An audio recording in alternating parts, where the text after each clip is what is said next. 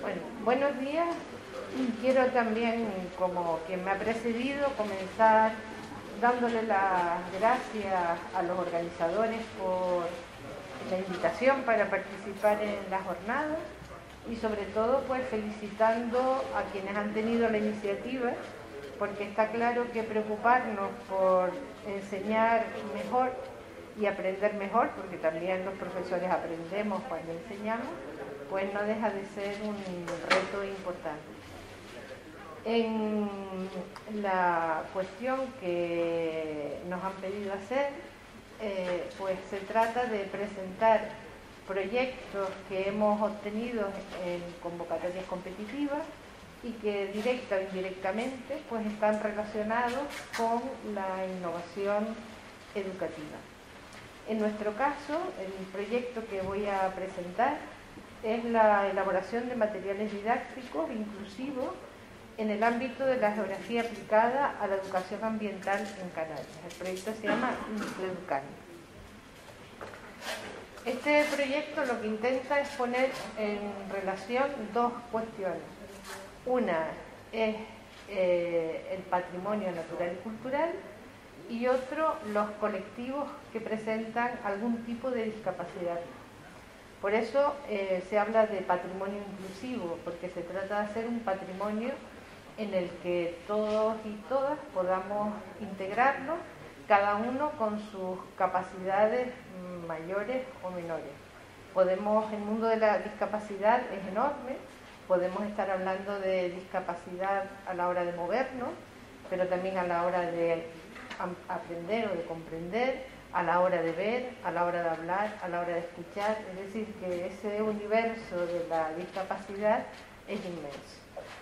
En nuestro caso, por lo que corresponde a los datos básicos del proyecto, pues nosotros nos presentamos a la convocatoria de ayudas a proyectos de investigación de 2020 de la Fundación Bancaria La Caixa y de la Fundación eh, Caja Canaria.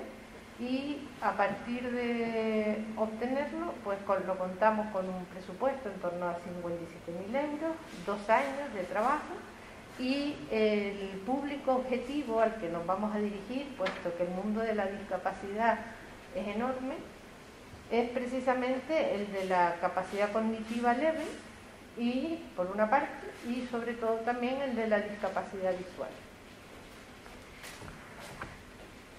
En el ámbito de lo que queremos hacer para acercar ese patrimonio, pues evidentemente no podemos coger, la idea es Canarias, pero teníamos que seleccionar una serie de zonas pilotos, de tal manera que hemos elegido dos zonas, eh, bueno, para también como fue hecho hoy redactado en tiempos de pandemia y pensando que no podríamos movernos mucho, pues elegimos zonas piloto en la isla de Gran Canaria.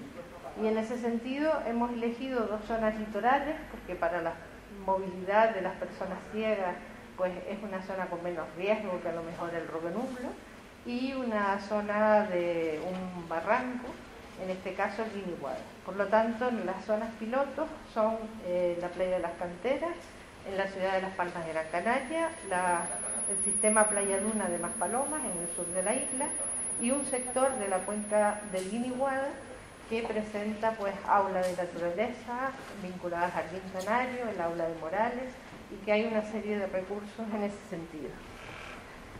Eh, los objetivos que tienen este proyecto fundamentalmente son cuatro. El primero es hacer un diagnóstico para ver qué necesidades hay.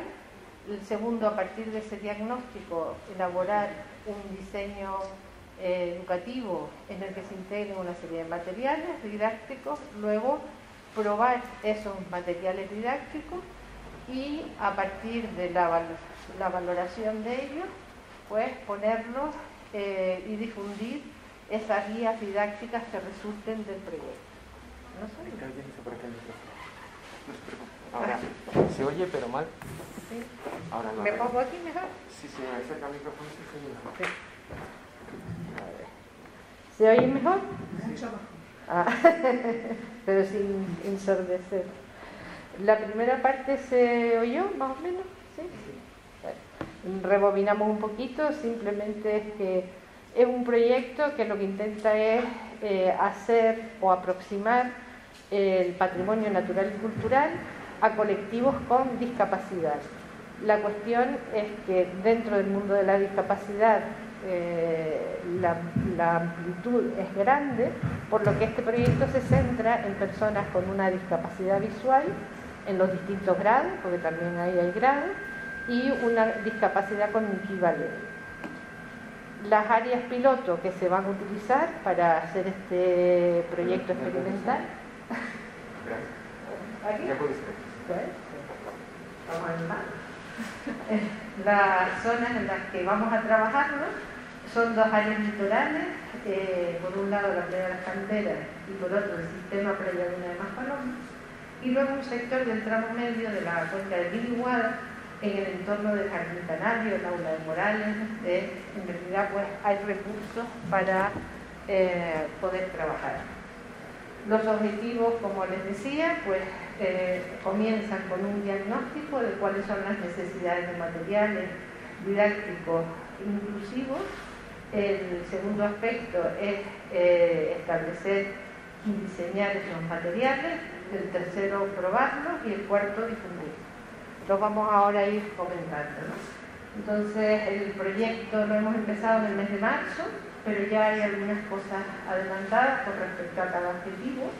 Con, por lo que hace referencia al diagnóstico, pues hemos intentado, tanto en enseñanza formal, en primaria y secundaria, como en enseñanza no formal, de colectivos que realizan actividades con colectivos con discapacidad, establecer una encuesta en la que eh, los monitores o los enseñantes que trabajan con ellos pues nos vayan contando cuáles son las ah, salidas que hacen con sus alumnos, a dónde van, si es que van y por qué van a esos lugares o cuáles les gustaría y no pueden, y si cuentan o no con materiales y en ese caso qué materiales consideran que necesitarían.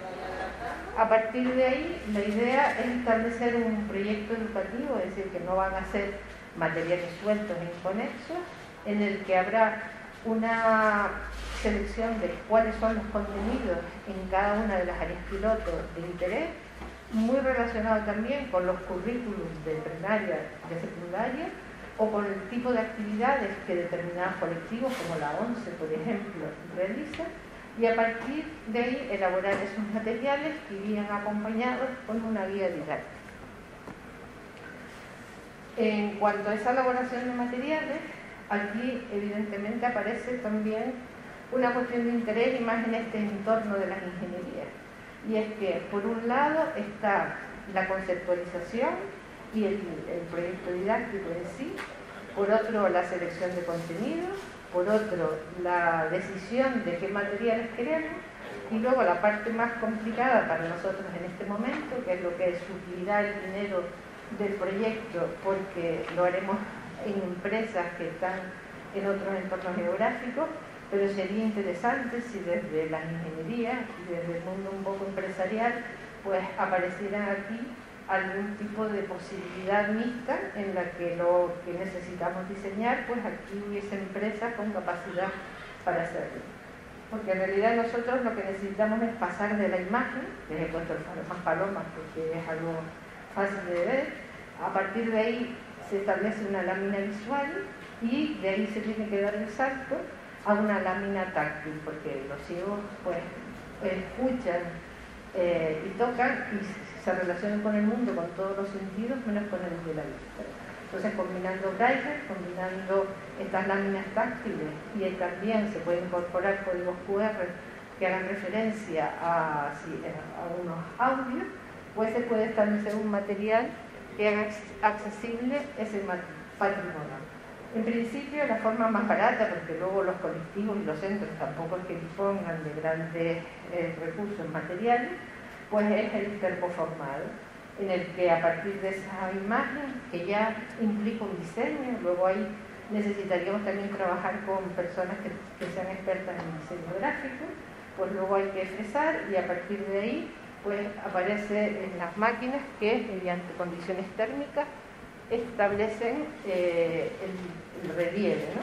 Por lo pronto aquí estaremos todavía en dos dimensiones, por ejemplo, si queremos explicar cómo se forma una duna, pues tendríamos por un lado la imagen, porque la otra idea del patrimonio inclusivo es que puedan simultáneamente en una salida de campo estar personas que tienen discapacidad visual y otras que no la tienen.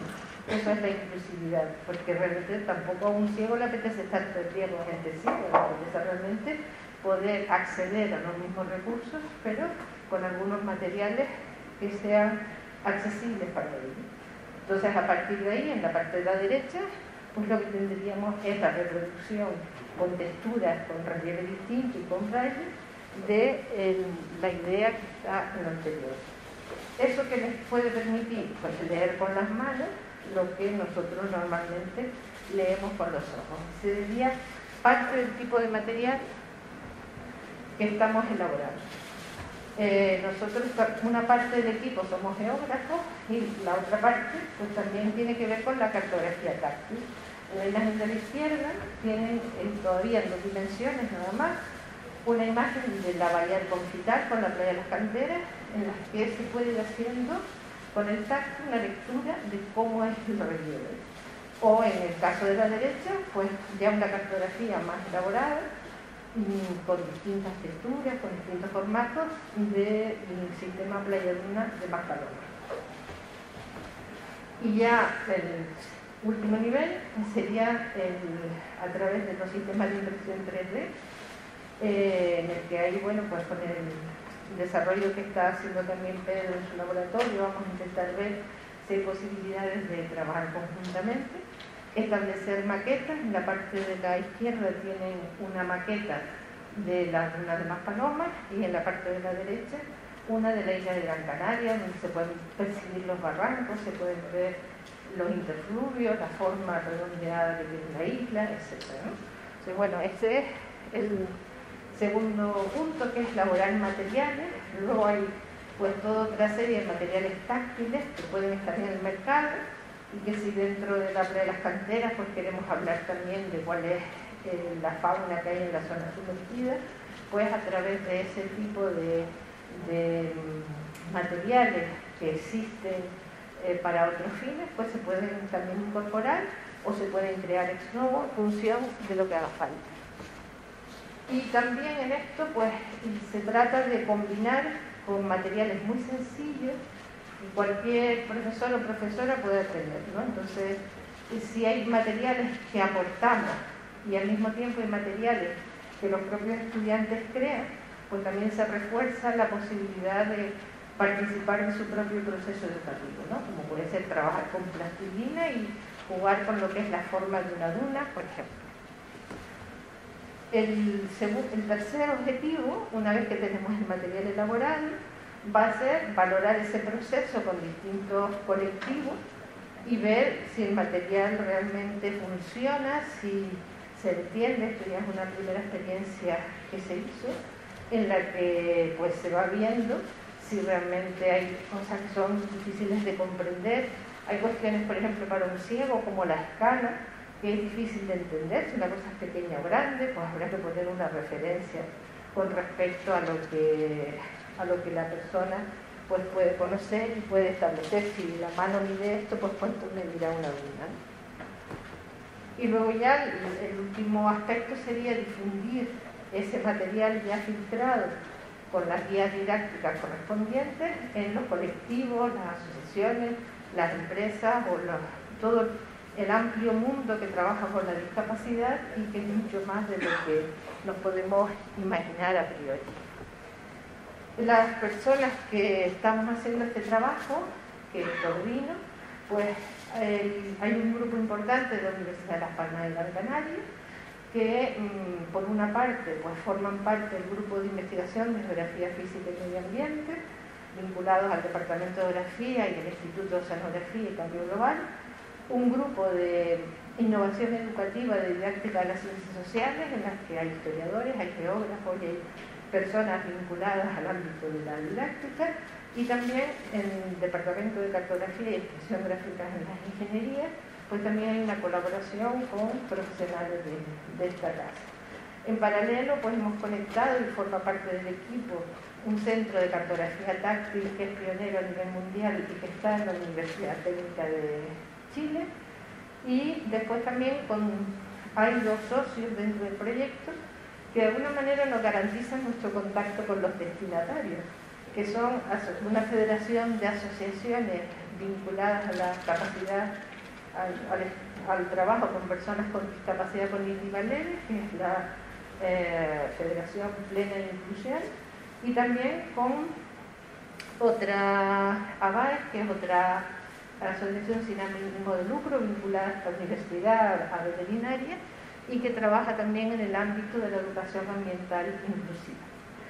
En paralelo también pues ya hay alguna tesis doctoral muy avanzada en el ámbito de eh, la relación entre el patrimonio y la, la inclusión y en esa tesis doctoral de alguna manera pues está gran parte de lo que ya se ha adelantado, es Sara Santana la que la desarrolla y esperamos que quizás a final de año pueda defender. Una cuestión interesante de este tipo de proyectos es que el segundo año se puede contratar a un doctor durante el año. Entonces, bueno, pues de alguna manera es también una forma, un tipo de proyecto que permite cierta inserción laboral en este sentido. Y Y finalmente, pues de lo que se trata es de, desde la universidad, en este caso, transformar todo un conocimiento científico que hemos ido desarrollando de conocimientos del mundo, eh, por ejemplo, en mi grupo de investigación del litoral o de otros grupos, del caso del Guiniguada, que han sido conocimientos científicos, pues ahora trasladarlo al mundo de la divulgación y orientado a un colectivo muy particular, fundamentalmente el material está pensado para personas con discapacidad visual, pero también vamos a intentar acercarnos a un mundo complicado que es el de la discapacidad cognitiva. Pues nada más.